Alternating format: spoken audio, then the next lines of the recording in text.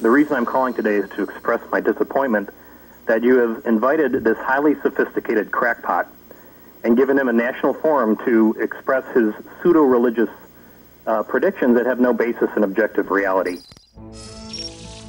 If you go back 500 years, not much happened in a century.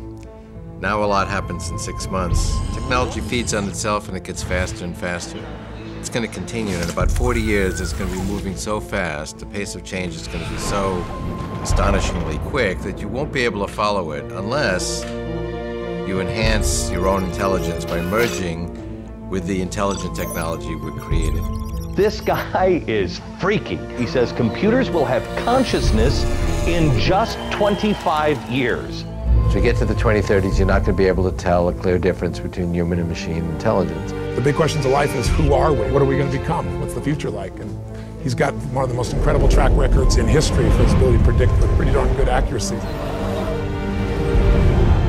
He's an award winning scientist and engineer, a millionaire several times over because of his inventions.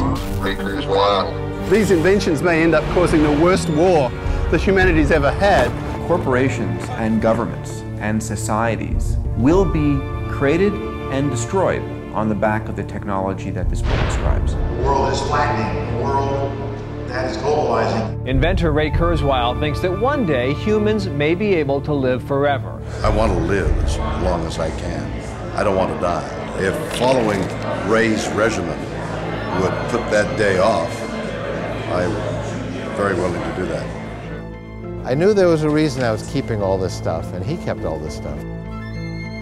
Uh, I do plan to bring back my father. God is who he is, and our challenge should be to know him, not try to create him. I'm afraid of you. Uh, it's going to scare a lot of people. The world is changing far too fast. Nothing like this has ever happened to Homo sapiens before.